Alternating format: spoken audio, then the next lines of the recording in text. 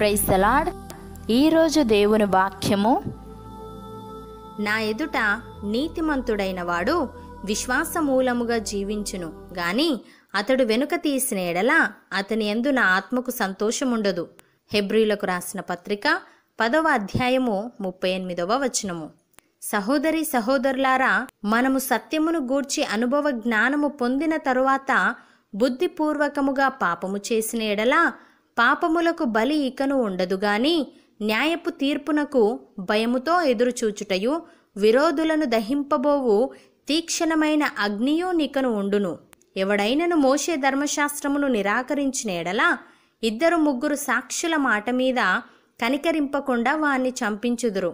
ఇట్లుండగా దేవుని కుమారుని పాదములతో త్రొక్కి తాను పరిశుద్ధపరచబడుటకు సాధనమైన నిబంధన రక్తమును అపవిత్రమైనదిగా ఎంచి కృపకు మూలమగు ఆత్మను తిరస్కరించిన వాడు ఎంత ఎక్కువైన దండనకు పాత్రుడుగా ఎంచబడునని మీకు తోచును.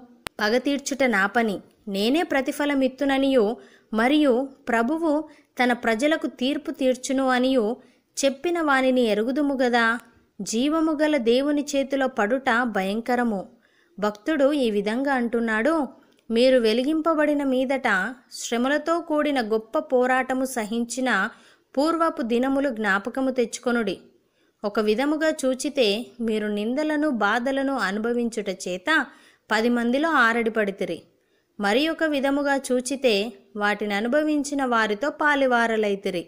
ఏలాగనగా మీరు ఖైదీలో ఉన్నవారిని కరుణించి మీకు మరీ శ్రేష్టమైనదియు స్థిరమైనదియునైనా స్వాస్థ్యమున్నదని ఎరిగి మీ ఆస్తి కోల్పోవుటకు సంతోషముగా ఒప్పుకొంటిరి. కాబట్టి మీ ధైర్యమును విడిచిపెట్టకుడి. దానికి ప్రతిఫలముగా గొప్ప బహుమానము కలుగును అని. ప్రియులారా ఒకసారి వెలిగింపబడి పరలోక సంబంధమైన వరమును రుచిచూచి పరిశుద్ధాత్మలో పాలివారై దేవుని దివ్య వాక్యమును రాబోవు యుగ సంబంధమైన శక్తుల ప్రభావమును అనుభవించిన తరువాత తప్పిపోయిన వారు తమ విషయములో దేవుని కుమారుణ్ణి మరలా సిలువ వేయుచు బాహటముగా ఆయనను అవమానపరుచుచున్నారు. గనుక మారు మనస్సు పొందునట్లు అట్టి వారిని మరలా నూతనపరచుట అసాధ్యము. ఎట్లనగా భూమి తన మీద తరచుగా కురియు వర్షమును త్రాగి ఎవరి కొరకు వ్యవసాయము చేయబడునో వారికి అనుకూలమైన పైరులను ఫలించుచు దేవుని ఆశీర్వచనము పొందును.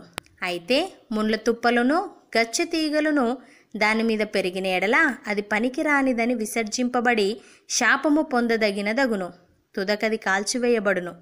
అపోస్తులుడైన పౌలు ఈ విధంగా అంటున్నాడు మనము వినిన సంగతులను విడిచిపెట్టి కొట్టుకొని పోకుండానట్లు వాటి యందు మరీ విశేష జాగ్రత్త కలిగి ఉండవలెను.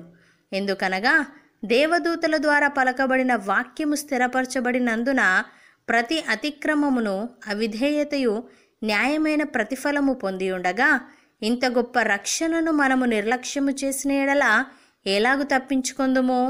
అట్టి రక్షణ ప్రభు బోధించుట చేత ఆరంభమై దేవుడు తన చిత్తానుసారముగా సూచక క్రియల చేతను మహత్కార్యముల చేతను నానా విధములైన అద్భుతముల చేతను వివిధములైన పరిశుద్ధాత్మ వరములను అనుగ్రహించుట చేతను వారితో కూడా సాక్ష్యమిచ్చుచుండగా వినిన వారి చేత మనకు దృఢపరచబడెను అని.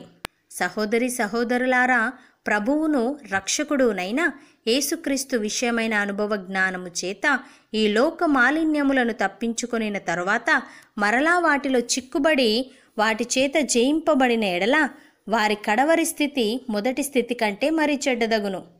వారు నీతి మార్గమును అనుభవపూర్వకముగా తెలుసుకొని తమకు అప్పగింపబడిన పరిశుద్ధమైన ఆజ్ఞ నుండి తొలగిపోవుట కంటే ఆ మార్గము అనుభవపూర్వకముగా తెలియకయుండుటయే వారికి మేలు.